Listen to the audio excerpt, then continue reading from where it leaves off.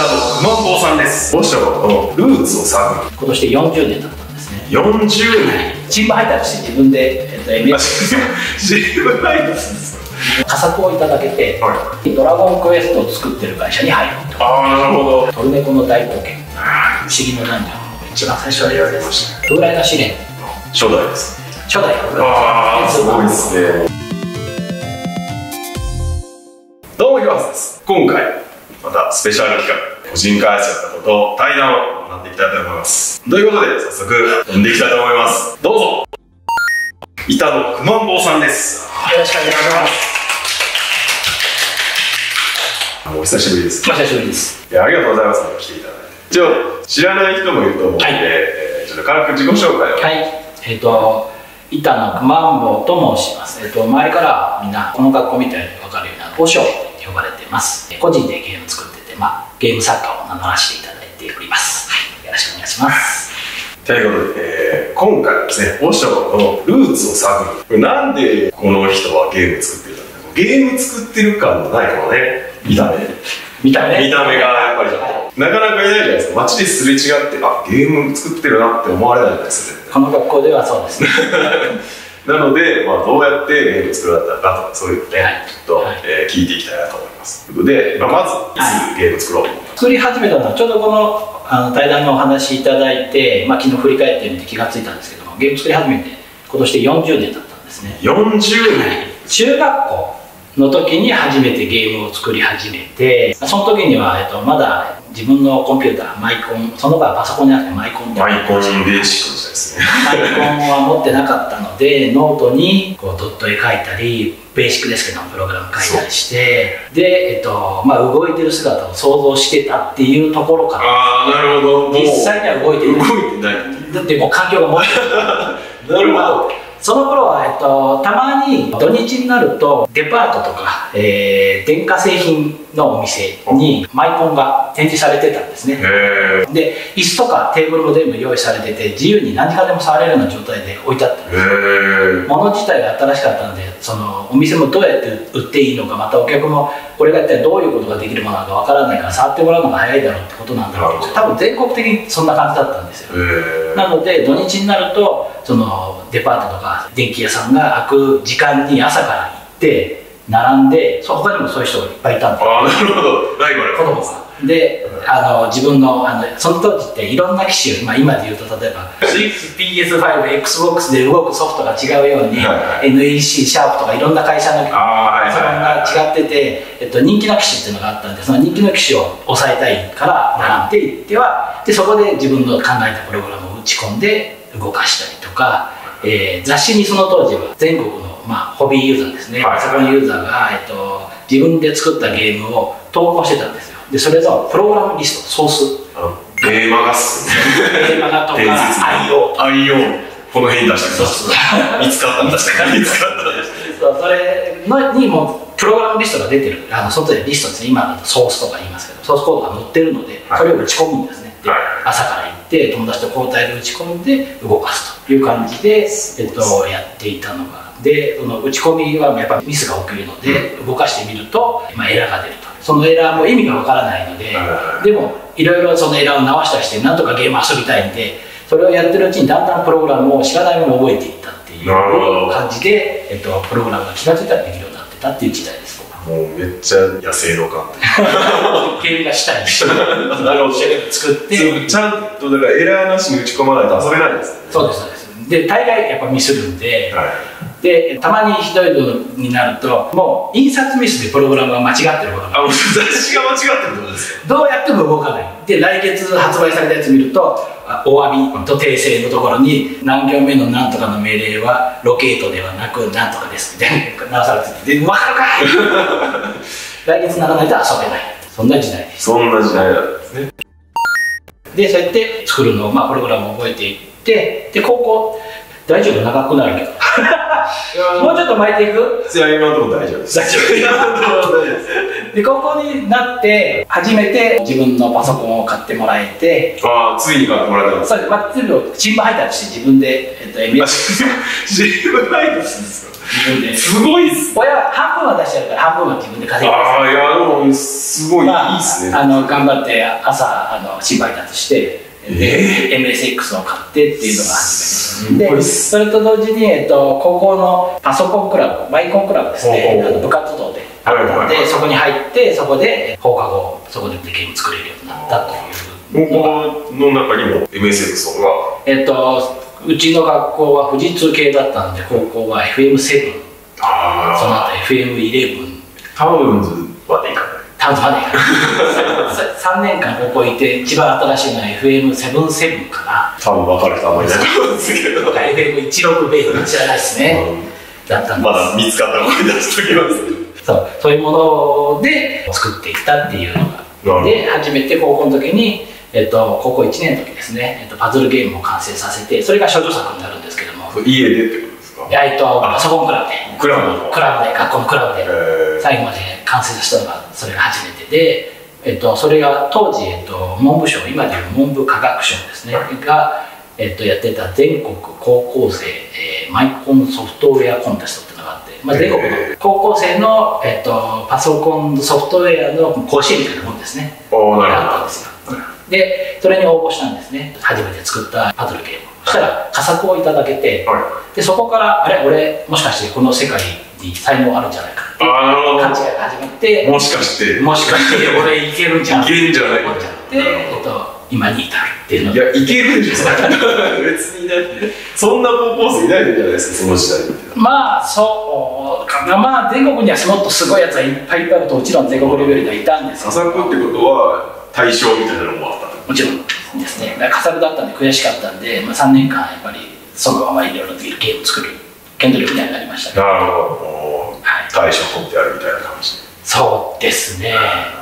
で2年目は、えっと、完成させられなくて。3年目は完成直前に、えっと、フロッピーディスクが死ぬっていう。ああのね。思い出しました死んだんじゃない。完成させたんですよ。完成させてなぜか完成5分後に自分でファイルを消しちゃったんですよ操作ミスで。それでフォーマットしちゃったって感じですか？そうです。新しいフロッピーもらって、えっと、応募用にコピーしようとして間違えて元のやつがフォーマットしちゃうみたいな事故が起こってですね。あじゃあもうデータ全部フロッピーディスクハードディスクなしですそうですね。ハードディスクはむちゃむちゃ高級品であえっあと100メガがめっちゃある。100メガとかじゃなかった。10メガとかですか。10あ50とかじゃないですか。そう50とか。30メガとかありますそんなんで。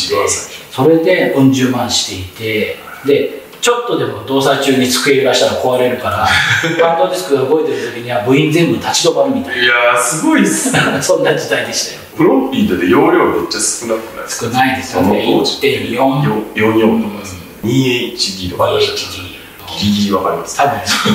今の iPhone のアイコン1個入らないとかそんなレベルになってるそうですね。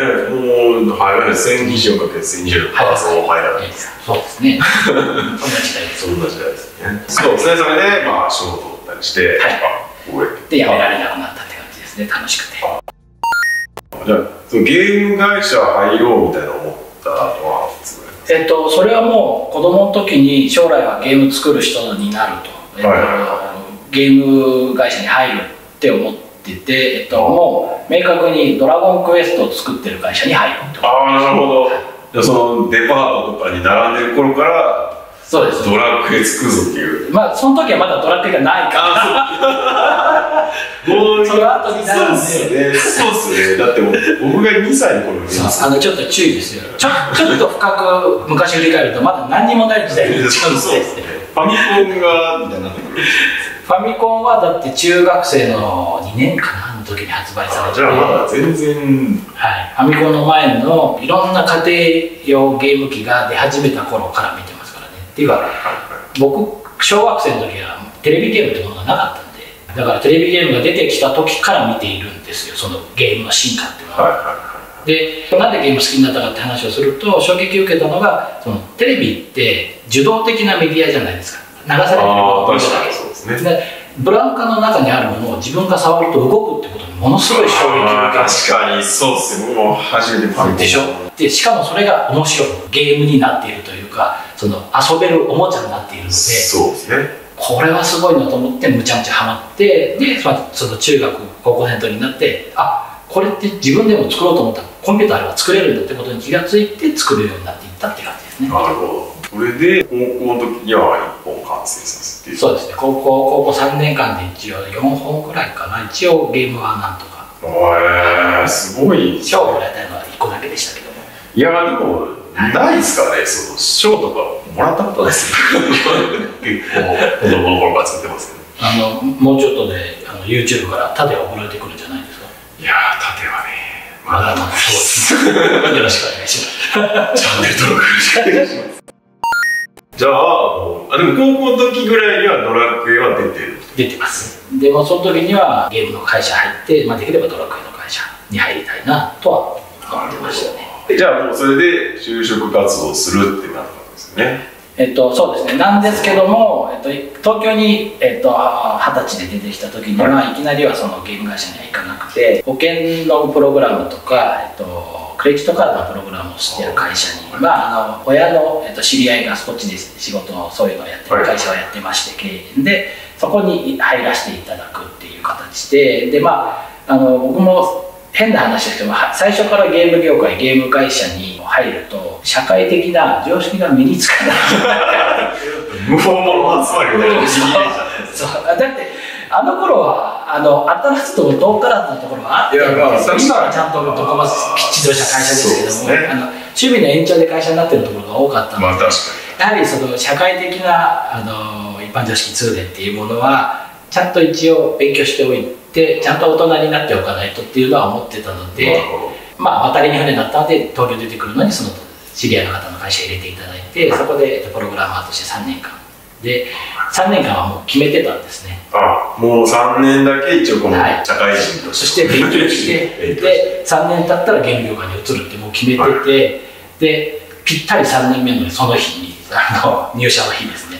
3年目の日にじあの上司に、えっと「お話が」って言ったら「ゲームか?」い。じゃあもう上司にも結構いやもう行きたいっていうのはもうみんなでゲームが好きだっていうのは知ってたんで、はい。あのバレバレだったんですよ。であのゲーム業界に転職しようと思ってますって。ああそうか分かったで早速チューンソフトにあの電話して、まあ、面接していただいて。あ電話なんですね。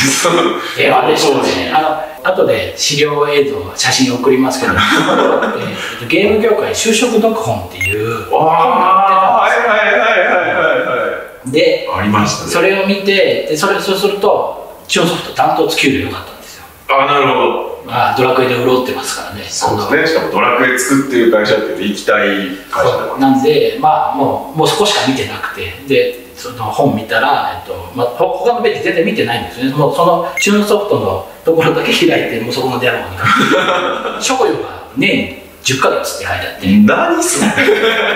もう倍になってますよ年収そうなんですよ10ヶ月ってすごいと思っててそれはあの偽りなかったんですけど。え本当にもらえ年3回とか出たりしたこともあって。たええちょっとだってあのその後いろいろ紆余曲折あるんですけど入った時にはまだまだやっぱり、えっと、ちょうど「ドラクエ5が」えっと、発売される1週間前に僕入社したんですね、えで入ったら発売前の「ドラクエ5」をみんな、まあ、最後のデバッグというかもうもうロング出しは終わってるんですけどもちょっと動かしてたりしてて発売前の「ドラクエ」見れるなんてそんな経験ないじゃないですか確か。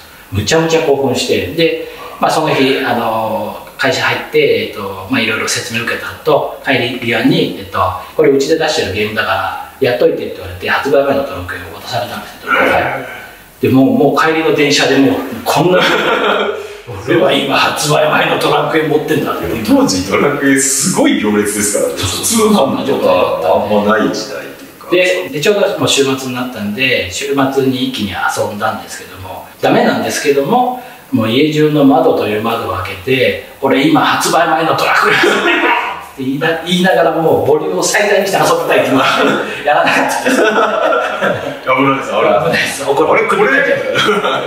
なんかドラクエのテーマ聞こえる。なってなっちゃう CM で聞いたな僕流れたっていうのが最初ですね。はいスーパーファミコン初期ぐらいなんですかねそうですね。なので鳩仕事はスーパーファミコンのえっとトルネコの大冒険。不思議のダンジョンの一番最初のやつでそれが後仕事として与えられてもちろんプログラマーとして。プログラマーでで僕の担当は、えっと、地上の街。街の部分ですね。ああはいはいはあそこと、えっと、デモシーンとかいはいはいはい。が最初に渡された担当それでもその全然関係ないその保険とかのやつやってたわけじゃないたはい。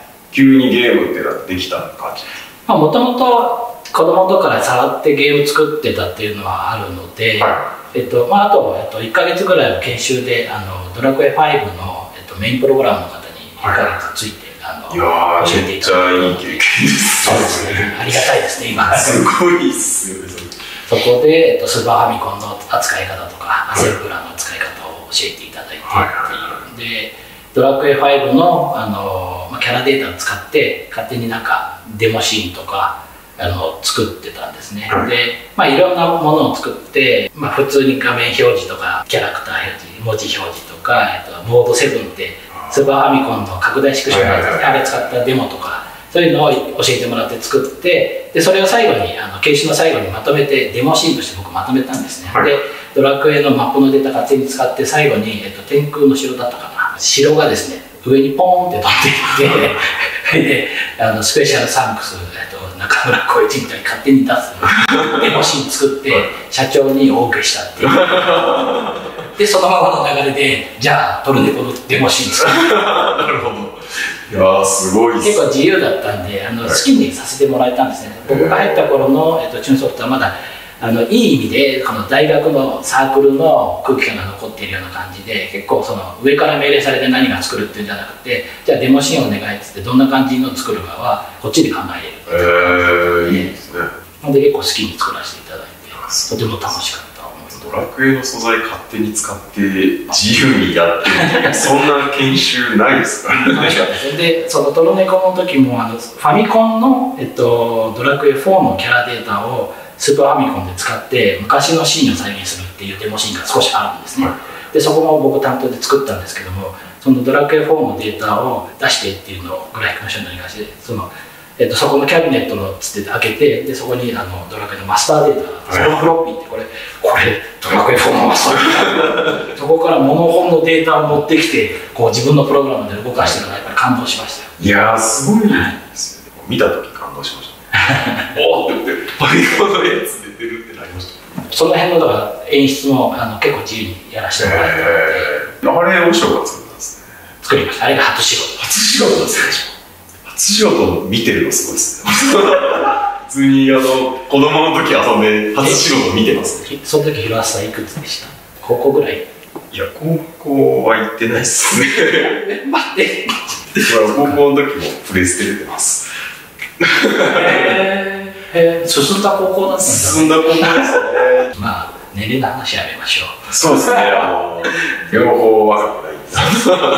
まあそれが初仕事で、えっと、一つちょっといい話をすると「トルネコの大冒険」が発売されて、はい。えっとまあ、お店に並んでで、えっとまあ、親にも一応連絡はしてあったんですね。そうですね。するとううちの母親が近くの、まあ、サンテラスっていうあのちょっと。デパートデパローカルートパローカルデパートがスーパーかながあるんですけども、そこのおもちゃ売り場に行って「トルネコの大冒険ありますか?」ってお店の人に聞いたんです。そしたら、えっと「すいませんもう売り切れちゃいました」って言われてそしたらうちのおふくろはそのそれを聞いて「あそうですかよかった」って帰ってったって「さあ何だあんの?」売り切れ。で喜んで帰ってったっていう話を母親から聞いてああ親はありがたいいなとそうですね。めちゃめちゃ俺のことは嫌ですね。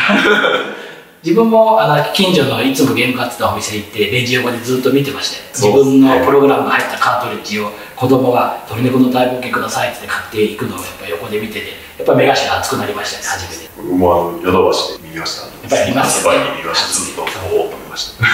カートリッジが売れていくのとスタッフロールに自分の名前が載ってるのを初めて見た時やっぱ嬉しかった。そうですね。写メ撮りましたね。その携帯電話あったんで。はいはいはい。僕の親切の時あったんで。なかった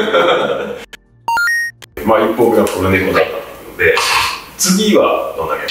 次はですね、えっとまあ、そのまま、えっと、不思議のダンジョンシリーズの流れで風来の試練。初代です。初代風来。の試練ごいですね。もを、えっと、やっぱそこもデモシーンを作らせていただいて、そのオープニングを作るのにやっぱりグラフィックの人とどういうのにするかっていうのを、えっとまあいろいろ話し合って。あのオープニング、えっと、いくつかこだわりはあるんですけどもグラフィックの人と徹夜して朝までトンビがピューって飛んでいくヒューヒョーって飛んでいくこの2秒ないぐらいのシーンに一晩徹夜で2人とも。こうこうじゃねえこうじゃねえみたいな。カーブが違う。カーブ最初こう行ってでカーブはこんな感じかなって決まってでそうすると、まあ、あの頃はあのもちろんドット絵なんでこう飛ぶって言ってもこうこうこうみたいなはいパターンをまあ3パターン4パターン途中で切り替えながらやるんですけども、その切り替えのタイミングをじゃあこうこうこうっていやここで切り替えるんだったらこの間1枚挟まないと変だとかあいい感じになってきたけどもここのこの羽の開き方がやっぱりもうちょっと大きい方が見栄えするんじゃないって直し始めてでそしたらこれもこれもみたいに直してなってやってたら朝になってたって。結構ねいい思い出ですよ。こだわって作ったんでいまだに YouTube とかに上がってる動画でそのそうですね。トビが飛ぶシーン見るとあ懐かしいなって思いますであとは試練のオープニングだとセーブデータを作って、えーゲーム始めた時に負け物がこうコロコロって転がってきうんてスクロールするんですけどもそこはスーパーファミコンのちょっと特殊なモードを使って0.5ドットスクロールっていうへー1ドットスクロールだとゆっくりのスクロールは結構硬はいはいはい、まあ、解像度そう256 256ですでカッタってなるんですよ。でそれが許せなかったんで。ででもスーパーファミコンには横512ドットにするモードがあって。でそのモードを使うのに1回切り替えるとちょうど256換算で0.5ドットだけ同じ絵で左にずれることを見つけたんですね。でそこでスクロールポインターを1個進めて256モードに戻すとまた0.5ドット進むことになる。んですなんで1フレームごとにそんなことを繰り返してやったっていう。で0.5ドットスクロールっぽく見えるようにしたっていうのを作ってゆっくりでもスムーズにスクロールするのがほあの誰にも気づかれない俺のこだわりであのレトロフリークとかたまにあのエミュレーターとか、はいはいはあれでそのオープニング見るとバグるんですよ。なるほど。俺の勝ちだと。エミュレートできないエミュレートできない。実機じゃないと動かない。変な機能使って。な 特殊なプログラムしてから俺の勝ちって思ってるほど。あとはそう試練のオープニングは最初実はあ市販されてるカートリッジに入ってるのとはちょっと違う。全体的なイメージとしてあのゲームデザイナーですね。から聞いてたのが小柄志文次郎小柄志文次郎の世界観を最初伝えられてたんですよ。でビデオも借りて見てたんですね。で小林文次郎の白黒のやつとか見てたんでそれが頭にあって実はその古い黒沢映画的なあの白黒映画でオープニング作ったんですよ僕は。おおよもう勝手なんですよ。おしゃれじゃないですおこう白黒ででしかもあのフィルムについてるゴミとかあの毛がうんシャシャあれも全部再現してでしかも下に出ているフォントも手書きの字幕で出てる、はい昔の手書きの字幕の文字ってフィルムにハンコのようなものでこう押してたんですね。はでフィルムがだからこうグッてあのプラスチックだけグッて押されて変形するじゃないですか。はグニュって。で白くなってそれが映すと白い文字として映るんですね。はい。でそういうやり方なんで例えば口っていう感じだとこう四角いじゃないですか。で空気がここに入ってるんですよ。はこのまま押すと真四角の白い四角になっちゃうんですね。はなので上とか少し空いてるんです空気抜きがああなるほど。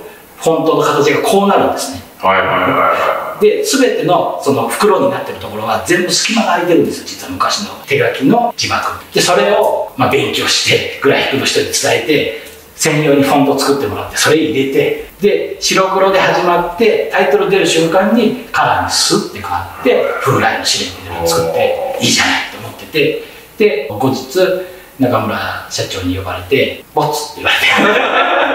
い そんな頑張って作った？